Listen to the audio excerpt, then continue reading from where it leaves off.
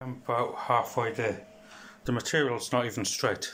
The two pieces of material that are stuck together manufacturally.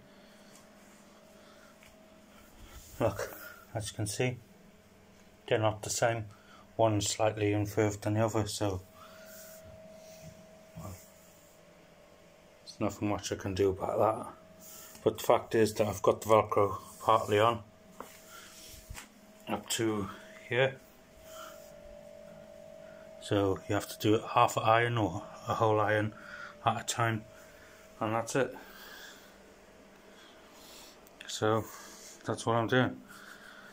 The next fun part, I know you can't really see it because they're both black, is to get the sewing machine to sew up one side and then back down.